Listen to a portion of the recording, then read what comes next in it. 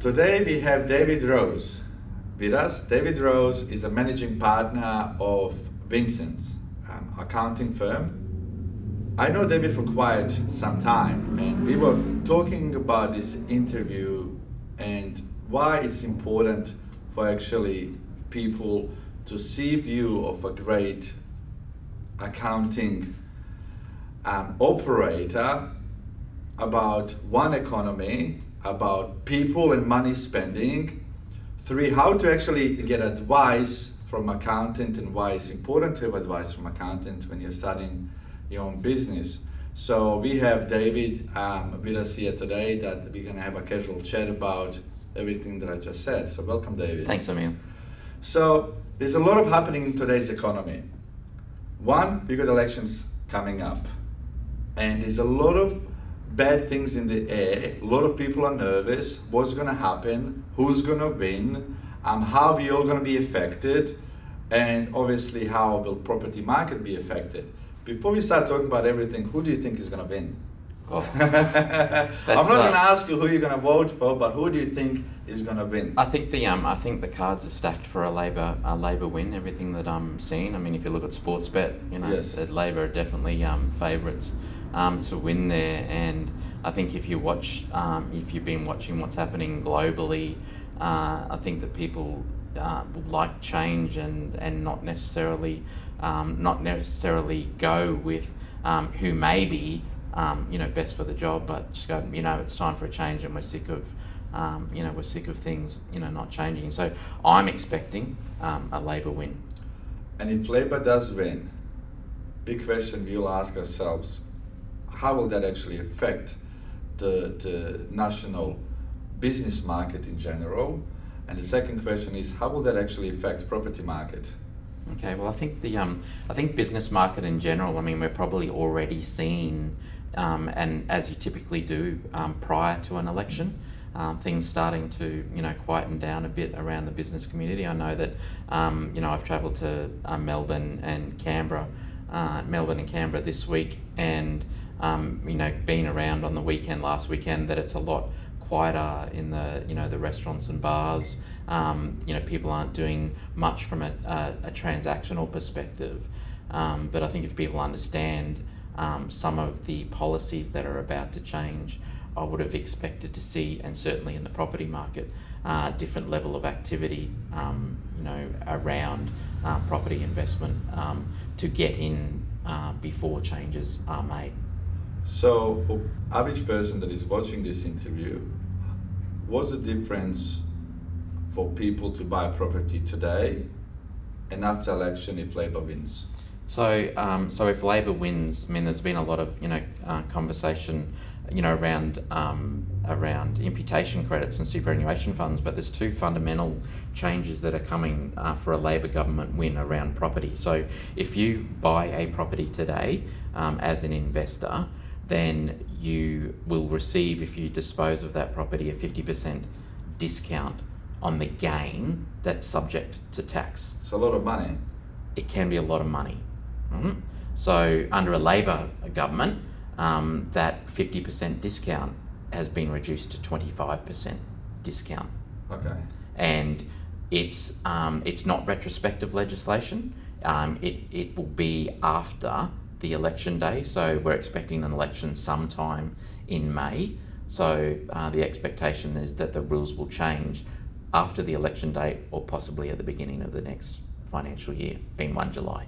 I know you can't really give um, advice to, to people here, but uh, your kind of suggestion is that um, it is almost a lot better to buy properties today than it would be after Labour wins, if Labour wins. Yeah, I think that um, I mean, you know, whilst I, you know, whilst I don't give advice, and everyone's situation is different.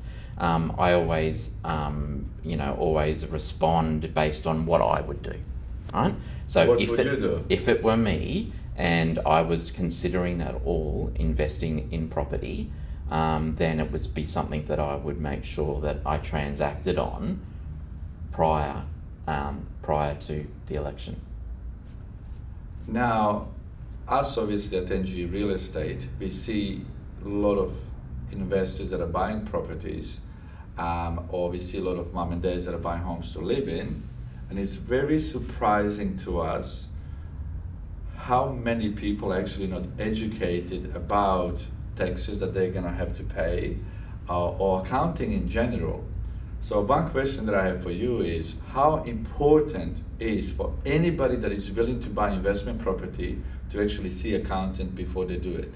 Yeah, I think it's uh, I think it's important, um, and the biggest the biggest thing that I see people overlook when it comes to owning property, um, and it's not even it's not so much income tax; it's actually land tax, and the way that they structure an ownership of a property um, that could be subject to land tax um, past a certain dollar value, and you know I see a lot of situations where people are complaining about paying land tax, but if they were structured in a particular manner that um, that might be something that um, is spread um, for them rather than copying it if they own it as individuals. So I think that the way I see it as well is real estate agents, obviously, most of them, they just really want deal to go ahead. Um, uh, but I also think it is important probably for real estate agents to be talking to accounting firms and almost every time they're about to sell investment properties, they should be uh, not advising, but in a way they should be suggesting for any buyer to see actually accountant to see how they should be structured before they actually yeah, I think putting that's, the um, name on the contract. Yeah, abso- absolutely, and I think that the you know that education piece is is something that's not only lacking uh, in relation to um, you know people buying investment properties or buying property. It's the education piece around you know people borrowing money, um, you know as well, and what you know what all of that that all means. And there's a there's a lack of education, and people whinge about rule changes and everything like that. That's gonna happen. It's life, right? The education around it is something that the smart people will get an understanding of and once they've got their understanding make their decisions more informed than most others. Talk of education. Um, in Australia, and pretty much I'm sure in every other country in the world, we all have to pay taxes. We cannot run away from it, otherwise we're going to be punished. So we all have to pay taxes. And everything we buy includes taxes, includes GST.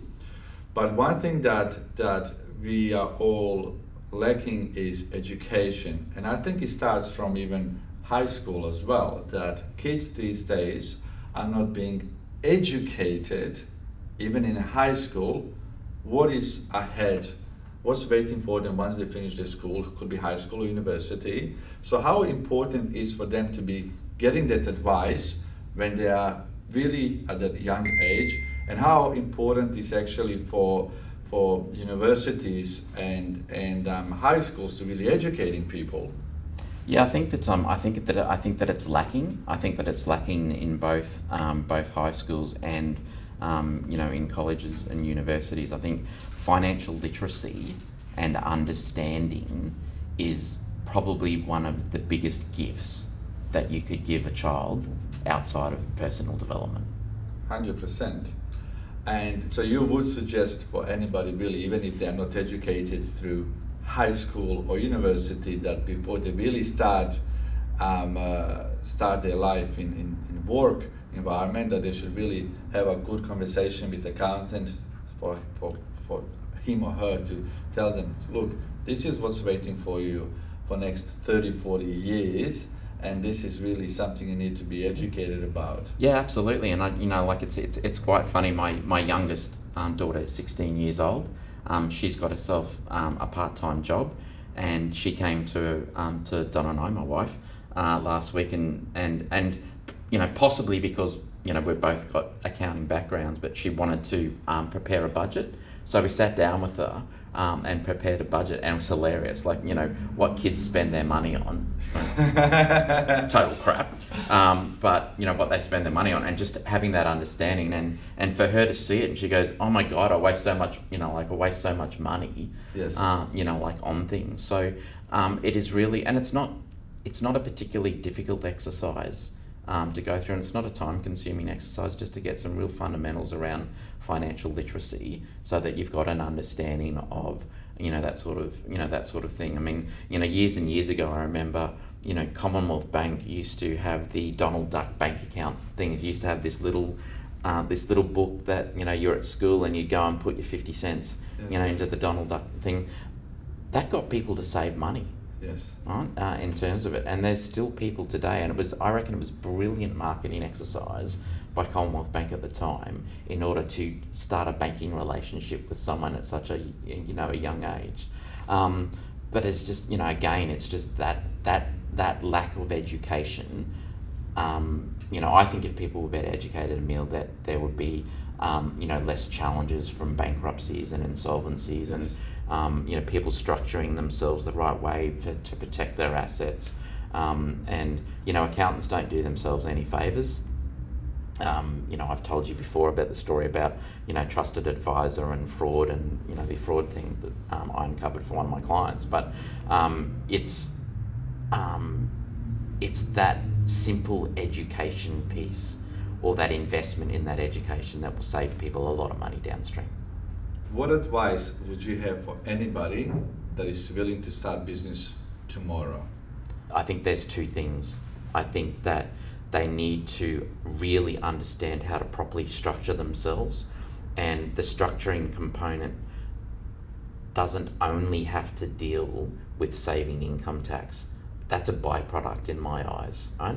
The structuring, first and foremost, should set up something from an asset protection perspective so that it doesn't expose those people downstream as their business becomes successful or if they take um, larger risk in relation to um, other activities. And the second thing that I think that people really have to have a, a good understanding of is cash flow and cash forecast. And uh, as accountants, we're great historians. You know, we'll prepare someone's tax return, um, you know, at the end of the year. But it's that sitting down and forecasting with them so people have a very clear understanding of what's ahead that will make a difference. The, the sad part is, um, I'm not exactly sure what the percentage is, but there's a huge percentage of businesses that do fail within first two or three years. And um, uh, do you think a lot of them do fail for the lack of great structure or education when it comes to budgets and managing money? Yeah, absolutely. I think I think both. Um, and I think coupled with the fact that, you know, with, with those in mind, that people don't understand um, that just because they've got a certain, you know, amount of money in the bank account that that's theirs to spend. So it's not, you know, saving for the income tax or understanding but, you know, the GST, um, you know, liabilities. So, um, you know, they'll go out and go, oh, I've got $150,000 sitting in my bank account, I'll go and buy a new car. Or I'll go on that holiday when, you know, 90 days, you know, downstream, that money's needed to, um, you know, to pay taxes. So, uh, you know, as I said, it's not. I don't think it's a particularly difficult exercise, and yes, it's easy for me to say that as an accountant. But I think there's some fundament, there's just some underlying fundamentals that if people that people got right, you wouldn't see the failures. And my understanding is it's two in two in five businesses fail in that first um, that first period of time. Which is really sad because a lot of them, once they do fail, they're scared to get up and keep going again. So they actually leave the business world and then they might end up becoming working for somebody else. But this country is built on small businesses specifically. Absolutely. How important are small businesses for this economy? I think that um, I think that more and more you you will see, and I call it an emerging economy because I think we're seeing a significant shift in the way that business has been done um, historically. If you go into um, shopping malls um, and centres, you know, in five years' time, you're going to see smaller shops, right? And you're going to see trends towards, you know, obviously, um, you know, I go into my reception area at Vincent's. Um, you know, of a morning, the, the mail arrives, and there's all these parcels that have arrived people who've bought stuff online. Um, you know, that that change, um, you know, is um, pushing people to be doing stuff for themselves. You know, you live in a world of social media. Um, you know, people making money out of being Instagram influencers. Um, they're running their own Business that businesses. didn't exist ten years ago. Now, there's people that are there's people that are lawyers and teachers um, who used you know used to be in those professions that are going and opening you know their own their own businesses and giving things you know giving things a crack. I, and I think it's fantastic. Um, you know that people are doing it. So I believe that it will be a lot of those businesses that drive you know the economy. It's those businesses that successful will spend the money, um, you know, in the cafes and, and the shops and and support um, you know support those sorts of things. But you know, Australians, you know, are kidding themselves if um, you know if they think that um, young people and people who are starting businesses aren't smart enough to know where to get things cheaper or what to do. I mean, you only have to walk into a retail shop and see people snapping photos of, you know, like particular items to compare prices. Now, um, years ago, one, you couldn't do it, and two, um, you know, the concept of you know impulse buying. Um, you know, is what shopping centres and shops relied on. You know, the young people are way more educated these days. They know where to get a deal. They know where to get a, a coupon code um, for something. So it's like if you build it, you got to work your ass off to promote it Yes. in order for people to come and understand what people are looking for. You have been in accounting world for 31 years. I have. 31 I don't know. I years. don't look that old. you you don't. so let's just say that you started working as accountant when you were nine years old. That that that um, complements your age. But in 31 years of your um, really your experience, you have seen a massive shift in technology.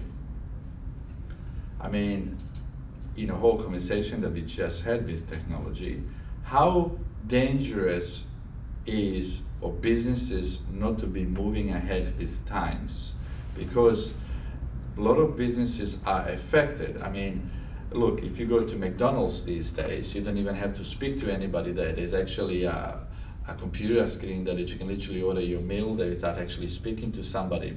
What's really interesting when you go to McDonald's, all the people that are my age or your age, we still go and talk to somebody that is at, at um, in front of us if you want to order a meal. But anybody really that is 15, 16, 17, 18, 19, 20, they're not doing it. They're actually on the computer, on the screen, and ordering whatever they want. I mean, even McDonald's, I have read a, a news article yesterday, they spent $400 million on, uh, uh, they purchased basically a technology company that's going to revolutionize the way they do things. How important is that technology and how important is for businesses to really be aware of what's happening in front of them? um, you know, Netflix, Blockbuster, right? Yeah, a great example. example of it. Um, I remember um, when Uber presented itself into the market, and in Australia, you know, the taxi industry was up in arms. If the taxi industry spent the money that they spent on fighting Uber, which was inevitable in my opinion, if they spent that money on changing their technology in order to compete, they'd be very competitive right now. They didn't do it. I see examples where, um, you know, you know, close to home for me, accounting firms who never don't move with the times with the cloud-based technology, or um, you know, getting their clients, you know, to shift and move on um, to those sorts of things. You know, whilst people, you know, hate GST, the introduction of GST into this country really forced people to move into technology to enable themselves to properly report, um, you know, their GST, um, you know, to the government. You know, unfortunately, you know, and people may not be aware, but I can see a point in the not too distant future where the software that you're using will be directly linked to the tax office in order to report your tax obligations, and you're not going to rely on people like me or need people like me uh, in terms of that. That's a good and a bad thing, but the technology that underlies the platforms that you use are things that will help you grow your business, understand your business, have a better picture of your business than you ever have before. Do you think technology is good or bad for us? I love it. I'm an absolute advocator for technology and change with technology. Now, this is a little bit private question. It's, it's um, not regarding um, uh, business, I guess. how dangerous is technology for kids and their family time? Because a lot of um, I remember when I was a young kid, um, obviously there was no iPads, and, and um, I used to play soccer with my friends every single day for a couple of hours after school. And these days, a lot of um, uh, kids are glued to iPads at home. Do you think that's good or bad for kids? I think it's terrible, I, and, and it's a challenge. I've got three daughters, um, 21, 18, and 16. So they've grown up in what you know in the technology. In Not the like the technology age like times. two of us when we used to just chase people around. I used to ride a ride a ride a push bike, you know, like um, miles to get to school. Never catch it, never caught a taxi. So you know, it's all too easy to jump on your phone and get an Uber. Yes. Um, it's all too easy to jump on your phone. ho- and- It's at your home in three minutes. yeah, and and and order Uber Eats without your mum and dad even knowing.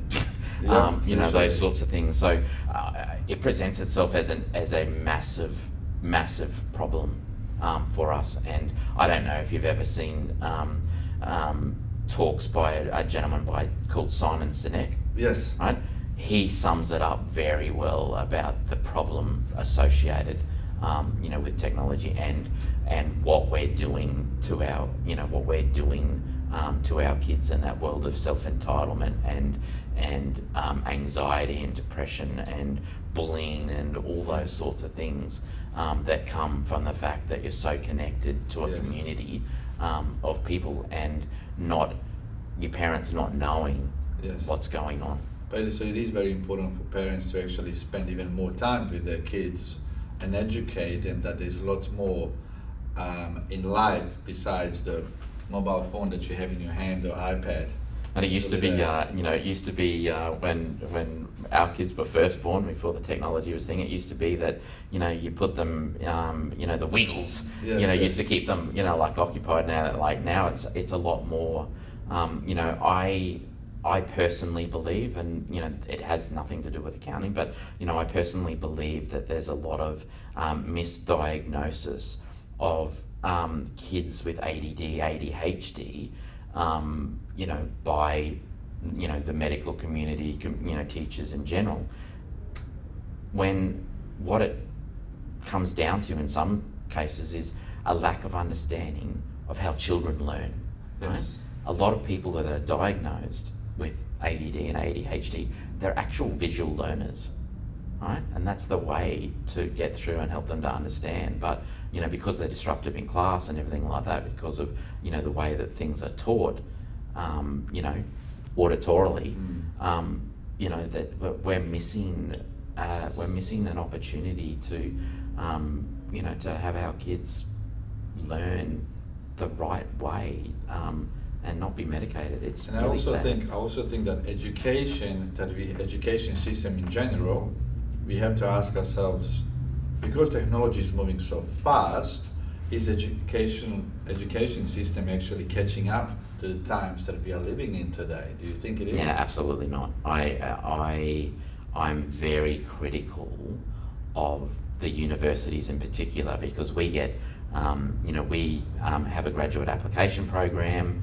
and you know, the universities come and they talk to me and they say, Rosie, you know, what, why, why aren't people employing our graduates? Right? And I say to them, and this was a recent discussion in the last 12 months um, with one of the universities here in Brisbane, um, you, you're not relevant in terms of what you're teaching. And they're a little bit offended and they wanted to understand more. And I said to them, um, this particular university, I said, are the first five subjects that you teach in your accounting degree? And I rattled off the five subjects that I did when I first started. And they said, yeah, how did you know that? And I said, because I did that 30 years ago, And those still- subjects Still there. and they're still there today. Um, I can see um, a significant shift in who accounting firms employ into the future because people are doing actuary degrees for data analytics. Data analytics is a, is a way of the future. Data is an extremely powerful thing.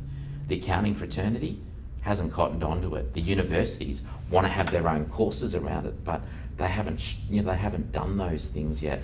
And in the meantime, you've got all these young people that are driving um, significant changes in occupations for the future. You know, you quite often hear people say, in a teaching sense, we are teaching people for jobs that don't exist right now.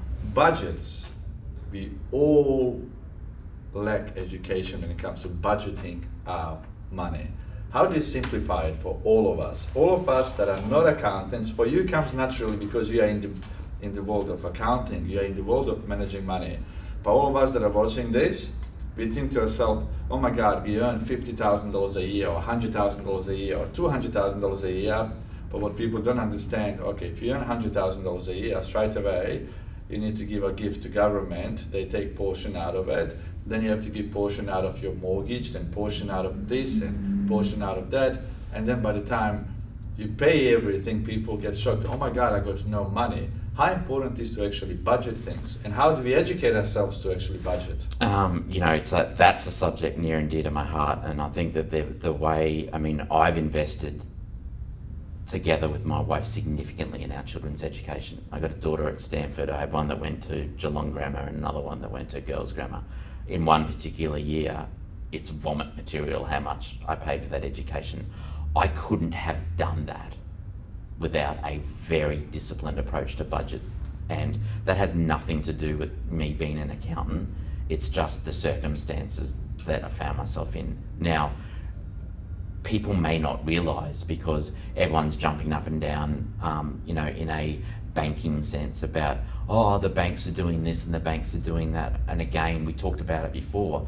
That education piece actually needs to be around the fact that people need to understand that a bank is going to take three months of your entire spending history, credit cards, bank statements and analyze it and analyze it in a sense of whether you can actually service a loan and I am seeing an increasing number of people whose loan applications are being declined simply because of that spending activity in that 90 day time frame. Um, yet, there is technology that exists. Your banking app categorizes your expenses you know for you so that you do have an understanding uh, you know of what that means you know like yep it's because i'm accountant but you know of a monday a monday night you know, for me, it's not date night. For me, it's like, you know, what happened in the previous week's spending, Budget what's night. coming up. It's Yeah. budget night in the Rose household, you know, on a Monday night. And I, you know, sit down with my wife and, and we look at it. It's that discipline that's enabled us to do the things that we want to do, um, you know, for our future and, and my family's future. And I think it is important because a lot of people, a lot of stress that, that people have in their personal lives is because of finances, unfortunately. A lot of marriages have issues because of finances. Um, and I think that has a lot to do with, with people not not being good with their money. And, um, and I see quite often many people earn huge amount of money, but when it comes to the savings, they almost have none, which is really sad. You're not exactly 30 years old, a little bit older than that. So you have 37. been in accounting for 31 years. You have been in a business world for quite a long time. What is one business advice you can give to anyone? Um, the best piece of advice that I can give to anyone in business, we talked a lot about education. That uh, that in itself um, is, you know, is the thing that I think people fail to do. Um, I read a lot. Right? I don't have a lot of time to read, but I, I read a lot. I subscribe to something called summary.com, which takes management, entrepreneur books and summarizes them in eight pages. Right? I don't have the time, but I will always make the time to read them, and they're audio books. Um, that and an investment in personal development. I think that that's underrated. Now, in any business, there are good business people and there are bad business people. Real estate agents, for example, they're great real estate agents and there are ones that are terrible. Same goes for accountants. So a lot of young people that want to start their business, or a lot of people that simply want to choose accountant because we all need accountant, we all need to have tax returns. So if I'm 20 years old or 25, And if I want to interview accountants, how do we know who's a good and who's a bad accountant? Because we are not accountants when we're starting our business, when we are 20 years old, and we go and, and any accountant we speak to, they think they're smart, they know what they're doing. How do we know who's the right person for us to pick? I think that uh, I think that's that's a that's a great question. Uh, I think it's a very difficult question uh, for me to answer because you know I'm so not an accountant. It's not funny, but uh, I think that if you're interviewing an accountant and their primary driver, um, you know, for you is saying that I'm going to save you this amount of money, you know, or I'm going to save you a heap of tax, you know, you need to ask the next question, you know, how specifically are you going to do that? Because one of the biggest challenges, we've got a forensic accounting uh, business unit. One of the things that we see is this, um, you know, what I call shit advice that accountants give to their clients and get them into trouble because of that advice. Um, so you've got to ask yourself, and it's that old adage: if it sounds too good to be true, It is. it is. So um, you know, they need to be able to have conversations with you um, about a whole range of things. Um, an accountant who can just talk accounting and tax, in my opinion, is someone to avoid. You know, accountant that can talk to you about um, you know genuine life experience, advising the way that they um, you know act themselves. Um, in you know someone that you'd want to you know that you'd want to do some work with, um, and I think um, more and more so, um, you know referrals from someone else. Like if you see that someone um, you know who's been able to do particular things in business, um, you know um, are successful. I'm in business with someone at the moment. Um, who used to look after this client. We merged with this firm a number of years ago, and this particular person was looking after this client of mine and they give him an absolute bollocking of a time around the advice that you know he was giving them at the time and the, the one significant change that I gave them um, and that they embraced I said don't be greedy. Yes. right? Leave something on the table. This particular client's a hospitality client. They owned a cafe when I first met them. They owned 26 restaurants and bars you know now. And you were part of their journey. and I've been part of the journey, and, and I'm so proud of them for you know what they've accomplished because they embraced that philosophy and brought people into the business, key people into each of those businesses but also as you, you- owners. but also you cared enough about your client to, to go through the journey with them as well, which is important. Yeah, there's a. I mean that you know that's something that is. I mean, I think quite often will say to people, I care more about my clients than they care about themselves. Which is important. For any business owner, how important is balance family time and business time? Because you have beautiful wife and three daughters, and obviously being in business for some time, you face that every single day. You do have company that you are running, and you also have a family that is at home. I think the key to it all is flexibility. That you know, there's always times where you need to absolutely commit to um, achieving an outcome. You know, from a business perspective, and you know, I think work-life balance is a choice. You know, I interviewed someone yesterday. Um, you know, around that, and I just said, you know, it, it's a choice that people make. Like I make a choice about work-life balance, but I also make a choice about flexibility. So that if something is going on um, and you know like I can I can drop things and go and take my daughter for a driving lesson Yes. in the middle of the day, right? And I build that That- flexibility that's a pleasure around my day. Being, being owner of the business. I Yeah, guess. and I think that uh, I think that it needs to be it needs to be front of mind. Um, you know, I've been through periods where I know I've worked way too hard, and um, you know, But you had to to get to where you are today. I, I think you do, but I think if you use that as the, I think if you use that as the, the, the base platform in everything you do, you'll never change the working too hard thing. Um, you've got to reward yourself for the hard work and effort. You've got to have that flexibility. You've got to know that at some point in times, you've got to get off the roundabout, right? And take care of your health.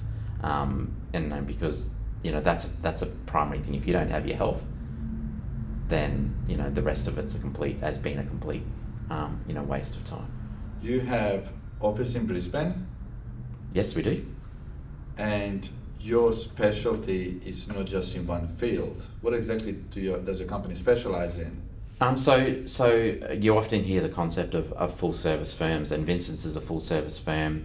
We have offices at Brisbane, Gold Coast, um, Sydney, Canberra, Adelaide, and um, the uh, the the full service aspect of our of offering was we have forensic accounting, we have an audit business, we have a, um, a business advisory business, and we have um, an insolvency business.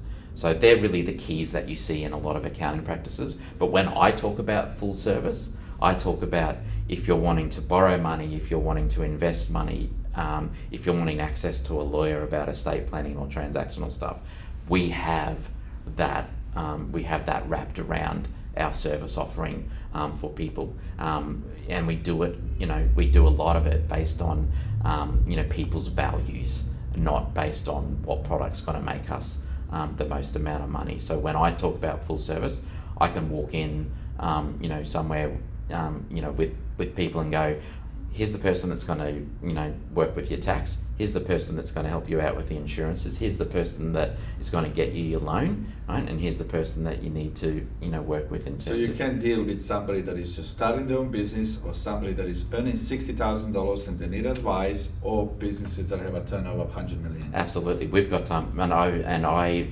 you know, drop off tax returns to ninety-year-old widows, right? Um, and I also work for companies um, in a um, a part-time CEO capacity for companies that are turning over 50, 60 million dollars. What's next for David Rose? I know you're never gonna retire. I hope Donna is Um, watching this. I think- I think that um, I, you know, I think that for me, um, you know, I, I spend um, I spend um, a bit of time um, overseas and understanding um, things that are happening overseas. Um, you know, you talked about technology before. I think for me that it will be, um, you know, and and from a from a Vincent's perspective, there will be something significantly driving um, our business that has a technology bent to it um, that makes us a lot more efficient than even what we currently are. Thank you. And thanks for your time. Thank you.